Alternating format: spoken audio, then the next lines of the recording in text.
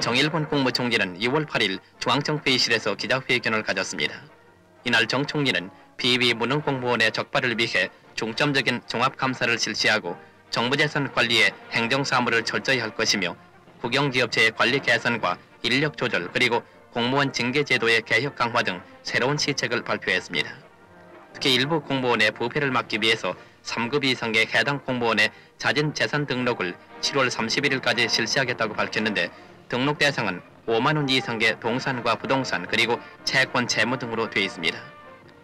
또한 중앙행정기관의 집행사무를 대폭 지방관서에 이양해서 민원사무 등의 신속한 처리를 기할 것이며 정부 조직을 개편, 기구를 통합 축소함으로써 기능을 단일화하고 예산의 절약 방안을 과감히 강구할 것이라고 말했습니다.